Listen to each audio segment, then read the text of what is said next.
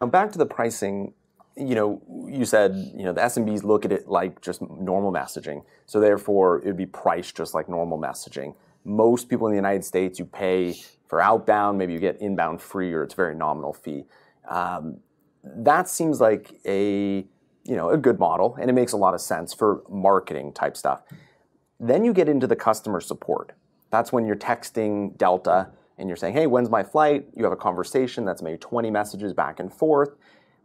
Does the same pricing model that you're recommending, does it have any kind of deviation for conversations? Or will it just be you pay per message in and out?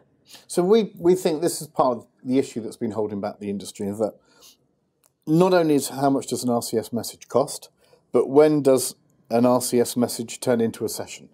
Okay. And, and a session is a like... session is when you start having this engaged to and fro. Okay. So you know if you very much think that an SMS is very much kind of a unilateral exchange, RCS is meant to be this bilateral conversation where you consumer obviously starts engaging with the brand and, and, and so on and so forth. So the question is, what is a session?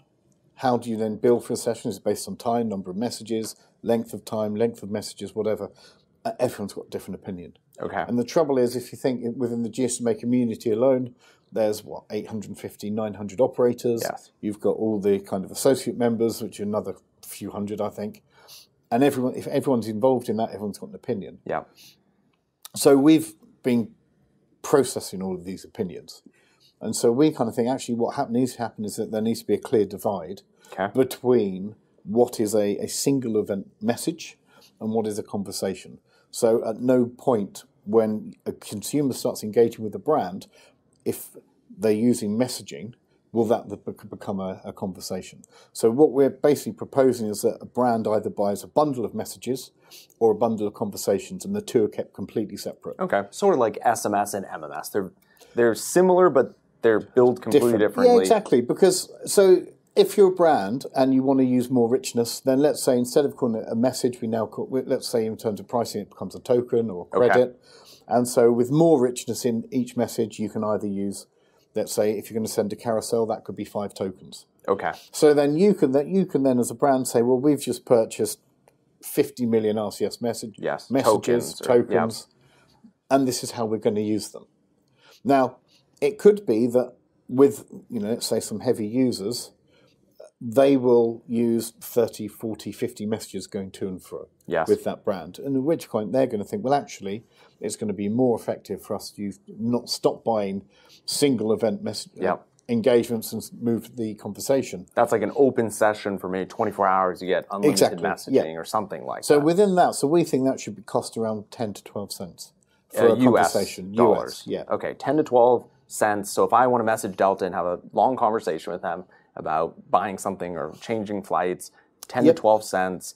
And then uh, the individual transactions, the SMBs think it's like one cent, just like an SMS, you know, kind of the standard. Whatever, yeah. So basically, it would be, I mean, it would be, it would follow SMS pricing. Okay, yeah. You know, but I think what we'd need to do is just kind of get that divide in brains, in in in the mindset of of because it's brand new of brands. Exactly. Yeah. Even and, email marketers don't think of it that way. It's it's all just kind of push for email marketing. Yeah. You're more going to like a, a customer support desk where you're having conversations. It's like a completely different, even though it's email, mm. it's two different things. Absolutely. Okay. So it's changing that mindset. So we just think by buying a bundle yep. of tokens, that starts to create a clear divide between what's happened previously with SMS and what we hope will happen with RCS. Obviously, this is just kind of a, a almost a pre preliminary model. Yep.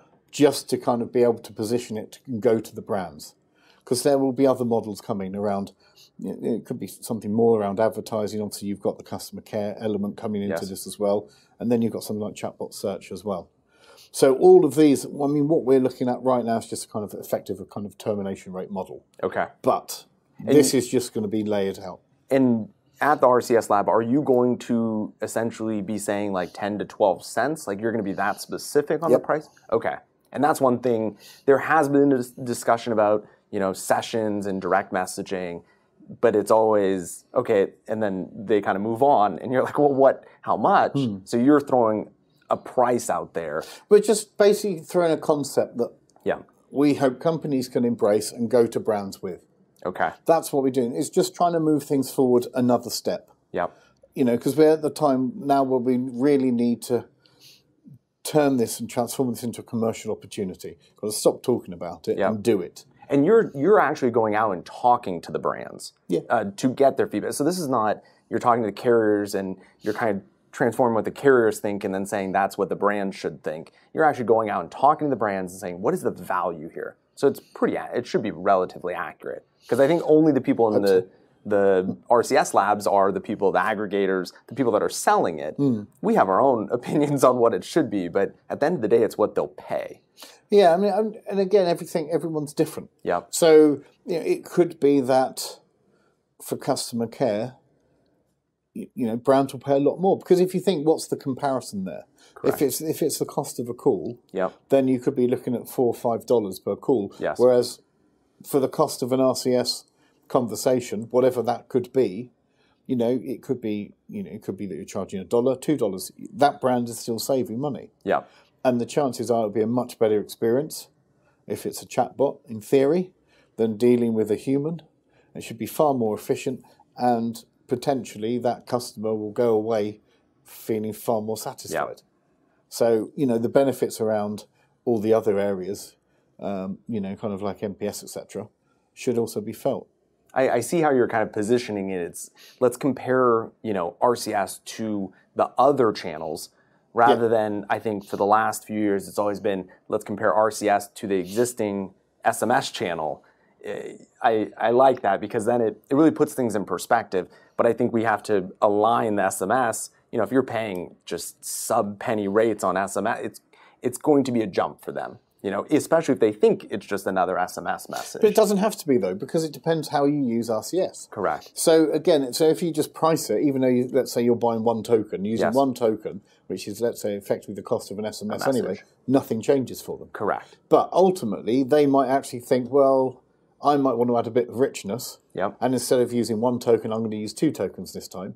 And then, if they start to see more engagement, more interaction, so you it think from- gradually pushes them up the value chain. you think from a marketing standpoint oh so the and maybe people that are watching this they were thinking the the rcs message is just everything that rcs offers that's going to be like one cent you're saying essentially if it looks like an sms message as an rcs that's one cent if you want to add a carousel you pay a little bit more Exactly. So, Okay. so it'd be let's say one token would be for a, a basic RCS message, Just same as SMS. 160 characters or whatever Exactly. characters yeah So there's no change. okay But then if you want to add a picture, if you want to add a link, a video, or you know one rich card, or even stretch that to a carousel, then you pay with more tokens. so you're like building on top of the base rate of one cent exactly, yeah. and then that can go up to whatever it is.